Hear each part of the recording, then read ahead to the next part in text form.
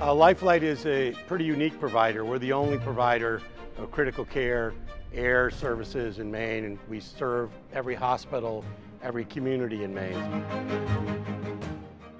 Everybody wants more space, everybody wants, you know, lots of different needs, and you have to sort of blend those into what's most important for us is can we adequately take care of a patient that's complex, whether it's trauma, whether it's medical, whether it's specialty care. So EMS is uh, all about taking care of the most critical patients and efficiently moving them to definitive care. The Leonardo 109 SP is the newest, latest iteration of the 109 family. It is a fast and powerful aircraft with state-of-the-art avionics suite in it and just a very capable aircraft. During the duration of the transport, both crew members are easily able to perform whatever necessary tasks in order to either stabilize or improve the patient condition for the duration of that transport. We can take the most complex patient out of the ICU and transport them to a tertiary referral center, essentially a flying ICU room.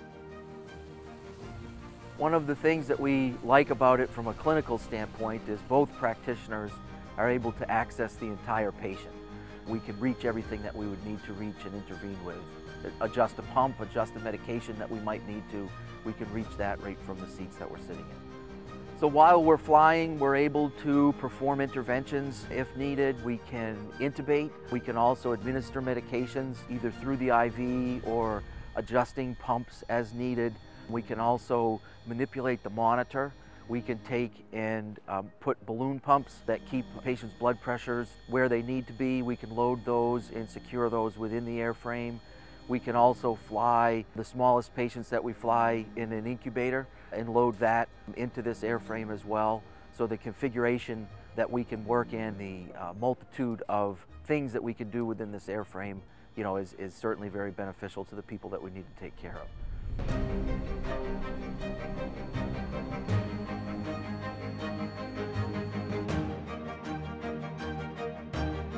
Loading or unloading in the 109, the deck height is easy to work off of.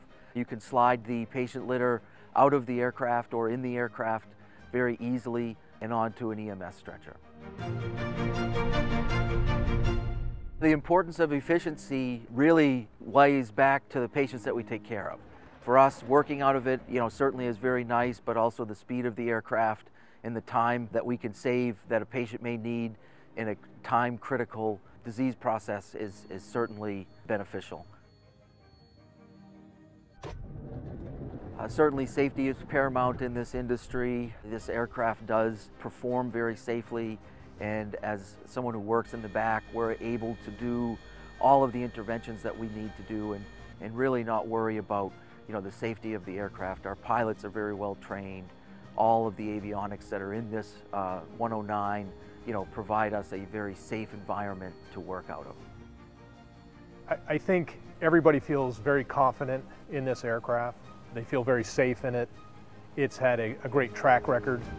Because of that confidence in it, our crews can concentrate more on patient care and, and not be concerned with the aircraft or any of the systems on board. They design helicopters with the patient care at the focus and then put all of their safety features and ergonomics in order to be able to maximize the efficiency and ability to take care of patients.